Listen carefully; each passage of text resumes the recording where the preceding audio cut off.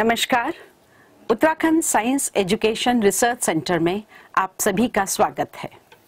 यूसर्क राज्य में प्रौद्योगिकी आधारित विज्ञान शिक्षा सुलभ करवाने हेतु कृत संकल्प है। आज के इस तकनीकी युग में, शिक्षा पद्धति में सम्यक बदलाव की आवश्यकता को ध्यान में रखते हुए, शिक्षा के सभी स्तरों तक आईसीटी के समावेश से और विशेषज्ञों के माध्यम से विकसित ई कंटेंट सुदूर छात्रों एवं अध्यापकों हेतु उपलब्ध करवाया जा रहा है। हमारा विश्वास है कि ई कंटेंट एक मूल्यवान संसाधन के रूप में आपके चिंतन कौशल एवं रचनात्मकता में वृद्धि करने में सहायक होगा। धन्यवाद।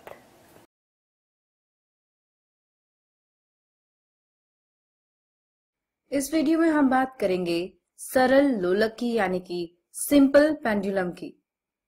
तो यदि किसी पदार्थ के भारी लेकिन बिंदु सदृश कण को एक भारहीन लंबाई में न बढ़ने वाली पूर्ण लचीली डोरी के एक सिरे से बांधकर किसी दृढ़ आधार से लटका दे तो इसे सरल लोलक कहते हैं, यानी कि कुछ इस प्रकार से। ठीक है? यानी कि यहाँ पर ये एक दृढ़ आधार से लटका दिया गया है। और जो ये पदार्थ आपको दिख रहा है, नीले रंग का, ये भारी है, लेकिन कैसा है? बिंदु सदृश कण है। और जो ये आपको डोरी दिख रही है जिसे हमने इसे लटकाया है, ये कैसी होनी चाहिए? भारहीन तथा लंबाई में न बढ़ने वाली पूर्ण लचीली। ठीक है? ऐसा ना हो कि कुछ समय बाद ऐसे लटकते लटकते इसकी लंबाई बढ़ जाए इस डोरी की। तो हमें एक ऐसी डोरी लेनी है जिसकी लंबाई ना बढ़े और उस डोरी का कोई भार भी ना हो। क्या इतनी बात समझ में आई? अब देखिए, व्यवहार में बिंदु द्रव्यमान और भारहीन डोरी संभव तो नहीं है। ऐसा तो नहीं हो सकता कि हमें जो डोरी मिलेगी उसमें भार होगा ही नहीं, है ना? तो ऐसा संभव तो नहीं है, यानी कि परिभाषा के अनुसार सरल लोलक को नहीं बनाया जा सकता है। ठीक है तो हम कोशिश क्या करते हैं कि हम ऐसा लोलक बनाते हैं जो लगभग लगभग सरल लोलक के समान हो। तो मान लीजिए कि हमारे पास एल लंबाई के सरल लोलक को एल लंबाई यानी कि ये जो इसकी लंबाई है, ये कितनी है? ये एल है। अब मान लीजिए इसे ही इसकी माध्य स्थिति, जैसे ये अब आपको दिख रहा है तो ये कैसा है? ये अपनी माध्य स्थिति में है।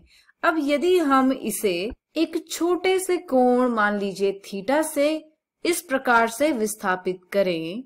देखिए इस प्रकार से। ठीक है, मान लेते हैं, माध्य स्थिति पर इसकी जो पोजीशन है वो ओ है। यहाँ पर इसकी पोजीशन हम पी मान लेते हैं। अब कुछ समय बाद क्या होगा? जब ये यहाँ से आएगा तो ये इधर आएगा, यानी कि इस तरीके से आएगा, यानी कि जो ये पेंडुलम है, ये इस तरीके से गति कर रहा है। कितनी बात समझ में आई? अब मान लीजिए कि यदि जो गोलक है यहाँ पर, इसका द्रव्यमान m है। कितना है? यहाँ पर मैं लिख देती हूँ, इसे लिखते हैं एम ठीक है? इसका द्रव्यमान एम है। कितनी बात समझ में आई? एवं जो माध्य स्थिति है, उससे जो विस्थापन किया गया, वो कितना है? वो x है, यानी कि ये x है। कितनी बात समझ में आई? अब देखिए। यहाँ पर हम क्या करेंगे? जो ये गोलक है, इसका जो भार है, वो इस दिशा में कार्यरत होगा, है ना? और कितना होगा? एम जी होगा। अब यदि हम इस वेक्टर का वियोजन करें तो आपको याद है ना हम वियोजन कैसे करते थे? तो यहाँ पर जो ये एंगल है, ये थीटा हो जाएगा। तो जो ये वाला इसका घटक है, ये एम जी क्या होता था? कॉस थीटा और जो ये वाला घटक है, ये एम जी साइन थीटा हो जाएगा। ध्यान से देखिए तो जो ये वाला घटक है, कौन सा?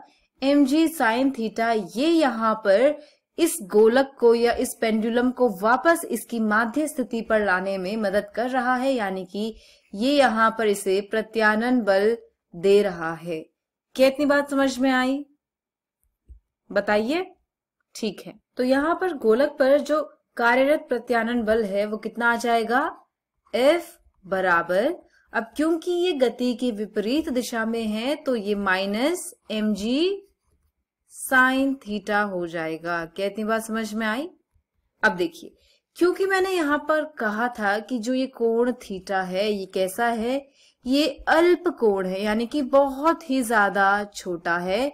जब कोण बहुत ही ज़्यादा छोटा होता है तो साइन थीटा लगभग थीटा के बराबर हो जाता है। ठीक है तो यहाँ पर हम इसे क्या लिख सकते हैं? इनफैक्ट जो टैन थीटा है, वो भी लगभग थीटा के बराबर हो जाएगा जब जो थीटा है वो बहुत ही ज़्यादा छोटा होगा।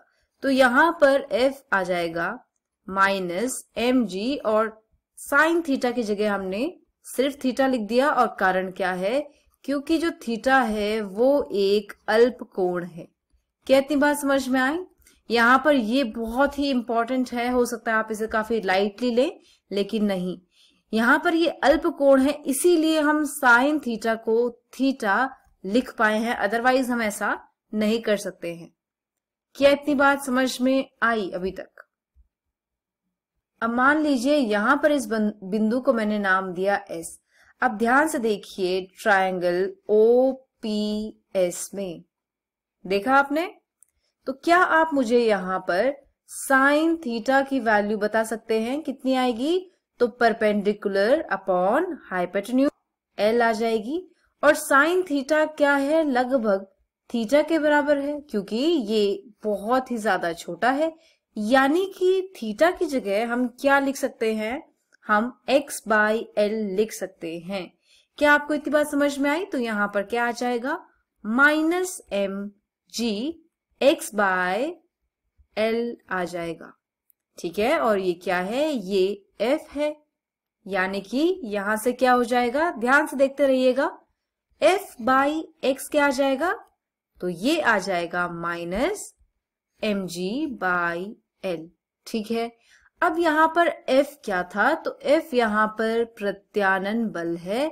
और हम ये जानते हैं कि प्रत्यानन बल जो होता है माइनस के एक्स होता है। यानी कि यहाँ से यदि आप F बाई एक्स देखें तो क्या आ जाएगा? माइनस के आ जाएगा? यानी कि जो ये F बाई एक्स है, अब ये यहाँ पर आप देख सकते हैं minus M G by L है। तो हम इसे K कह सकते हैं। ठीक है? क्योंकि माइनस यहाँ पर ऑलरेडी एफ़ में है। तो ये जो के है, ये कहलाता है स्प्रिंग नियतांक। ठीक है? स्प्रिंग नियतांक क्या इतनी बात समझ में आई तो देखिए हमने इसे कैसे यहाँ पर रिलेट किया है। अब यदि यहाँ पर मैं बात करूँ किसकी? आवर्त काल की। आवर्त काल को हमने प्रदर्शित किया था टी से।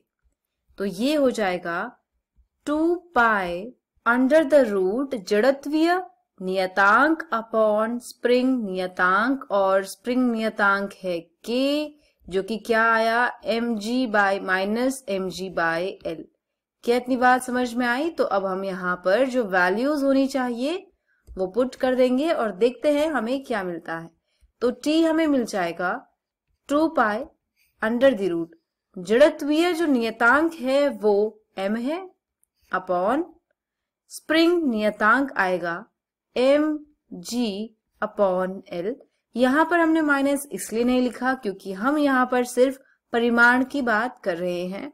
तो यहाँ से क्या हो जाएगा? ये कैंसिल हो जाएगा। तो हमें क्या मिल जाएगा? हमें यहाँ पर मिल जाएगा t बराबर two pi under the root L upon G ये यहाँ पर बहुत ही ज़्यादा इंपॉर्टेंट है। इसके बहुत ज़्यादा एप्लीकेशन आते हैं। तो ये जानना आपके लिए बहुत ही ज़रूरी था। मैं उम्मीद करती हूँ कि इस वीडियो को देखने के बाद आपको समझ में आ गया होगा कि जो सरल लोलक होता है, वो किस प्रकार कार्य करता है।